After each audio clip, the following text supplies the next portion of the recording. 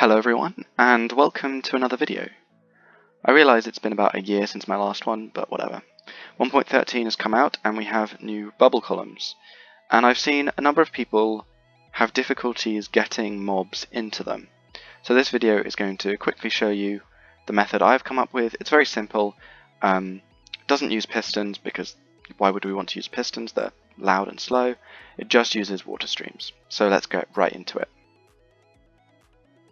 Alright, so the first mob we're going to be looking at is two tall mobs like creepers, skeletons, zombies. It works the same for all of them, even though uh, zombies and skeletons now do not float. Um, so the first thing we're going to do is make a quick little water stream to lead into it.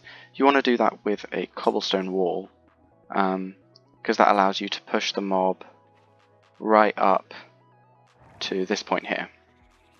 Um, so this is the point where lots of people have had difficulty um, because the mob just gets stuck on this block even though they are in the, the bubble column.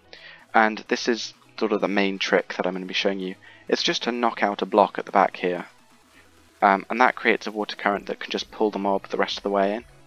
So you just um, they're really slow on the cobble wall because of the new water mechanics. But anyway, they get pulled in by that water stream and up they go. So we can see this in action. If you want to speed up the mob over the the wall, you can just move your water source forwards a little bit. But here we go. Creeper goes in, up onto the slab, and up into the lava. Super simple. Okay, so now we're going to be looking at the cave spider.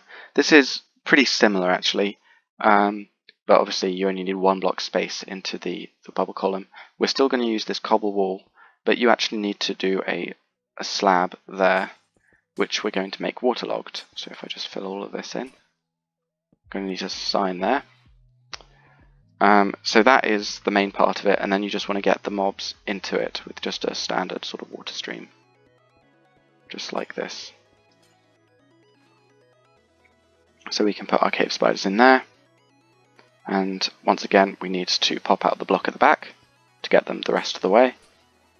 And up they go into the lava.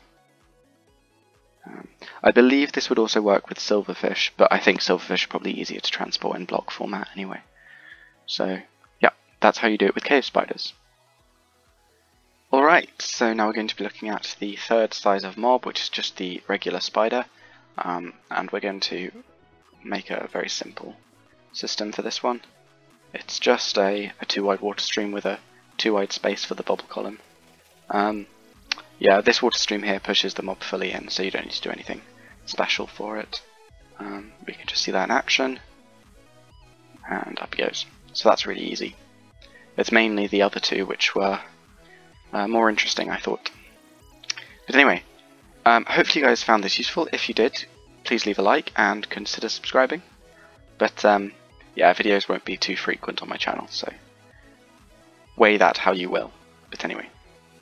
Uh, thanks for watching everyone, and hopefully I will see you next time.